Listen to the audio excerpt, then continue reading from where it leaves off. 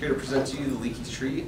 Um, this is not only a precision drink mixing device, but it is, also has a built-in ice dispenser.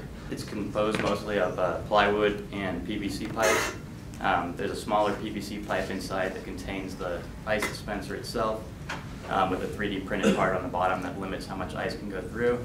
So yeah, usually when you start, you select how much ice you want. So what, what our ice system is basically is we've got the Arduino connected to our servo motor up here, and we made a little four bar linkage so that when the servo spins, it spins this bar, which has the auger on the bottom, and it'll just go back and forth and open up the hole in the 3D printed part, which will allow the ice to fall through down this slide end into the cup. And you can just hold that ice button for as long as you want, for however much ice you want. So I can just do a little demonstration of that. So the LEDs in here and the coaster itself just phase through LEDs in the box itself, there's LEDs in the tree section that we have, and they all just correspond to different states that the machine is in. Like when you do the ice, you will see that they all turn blue here. And then when there is no cup in place, it will actually tell you that beep and turn red.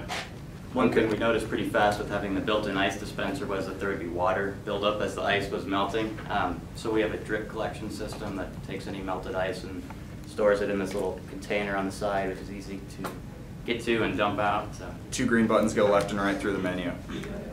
And you can select a drink that way. When you have decided what drink you want, you can use the white button and it will select it and start pouring.